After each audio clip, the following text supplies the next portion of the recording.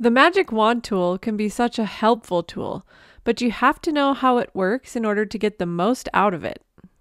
In this quick tip, I'll share with you how the tolerance setting of the Magic Wand tool works and how you can adjust it to make easy selections.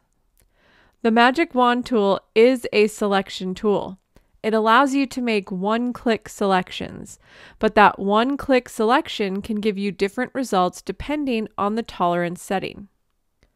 According to Adobe, the tolerance you set determines the color range of selected pixels, and that tolerance range can be set to any number between 0 and 255. A low number will select fewer colors. A large number will select more colors. But let's look and see how that actually works. So here in Photoshop Elements, I've opened a paper from the All for Fall kit by Aprilisa Designs.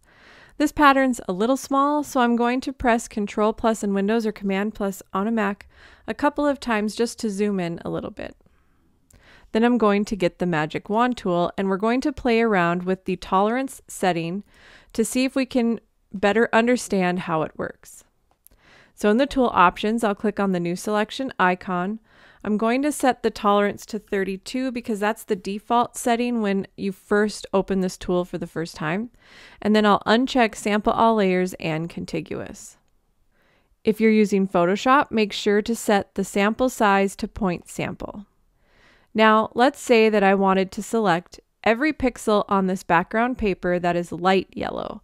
Not this medium yellow, but this light yellow. So I'm going to click once inside any of these light yellow areas and see what it does. Now that does a pretty okay job. I wouldn't say it's great because it is picking up quite a few pixels in the medium yellow area and a few pixels in this peachy area. So if we want to try to hone in on that light yellow color by itself, we need to lower the tolerance. According to Adobe, the lower the number, the fewer colors that's selected. So I'm going to deselect by pressing Control or Command D, and then I'm going to change the tolerance down to 20 and see what that gives us. So I'll try again here. And that did a pretty good job. There's still a few stray pixels being picked up in the medium yellow range, but it's so minor now at this point, you'd hardly be able to tell. That's, I would call this an acceptable selection. So now I'll deselect but let's say we wanted to try to select all of the yellow pixels on this paper, both the light yellow and the medium yellow. Let's try increasing the tolerance just to see what happens. So I'll set the tolerance to 60 and see what that gives us. I'll click on one of these light yellow areas. And as you can see, it's picking up a lot more than yellow. We're getting a lot of orange and we're getting all of the peachy shades as well as this like gray tannish beige flower here as well. The reason it's picking up so many more colors is because our tolerance is high. So we would have to mess around with the tolerance number to try to zero in on just those yellow colors, which is sometimes difficult to do because so many of these colors are in the same color family.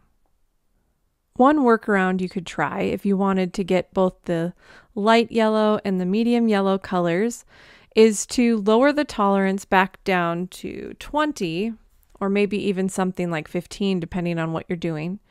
And we'll first click on the light yellow areas and then we'll change our setting for the tool from new selection icon to add to selection icon. And then we'll try clicking on the medium yellow with the same tolerance of 20. And there, that did a much better job. Now, all of the pixels on the paper that are selected are only yellow and nothing else. So sometimes you have to play around with how you want to make the selection process work. And if you understand how tolerance works, you can make it work a lot better for yourself. Let me just deselect now. So let me just show you a quick, like, real life example of how you can use this to maybe recolor a paper or recolor something else.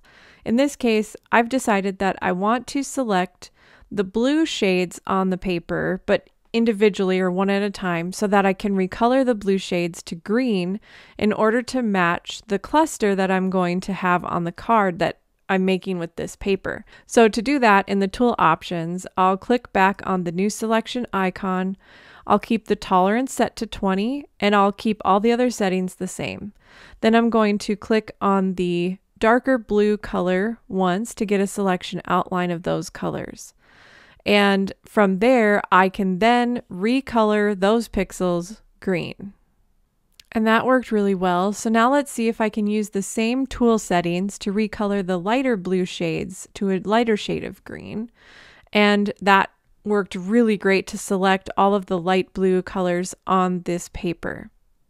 And that worked really well too. So as you can see now my paper has all of the blue pixels recolored to a shade of green and I'm really happy with the results. So to recap, the tolerance of the magic wand tool will determine how many colors will be included in the selection. A lower number will give you fewer colors and a larger number will give you more colors.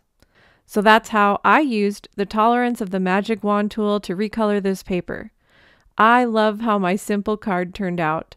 The color change wasn't massive, but I wanted to have some shades of green to go with the greenery I used in the cluster. If you found this video helpful, please give it a like and consider subscribing to our channel. This has been Jenifer Juris with Digital Scrapper. We help you get your stories told.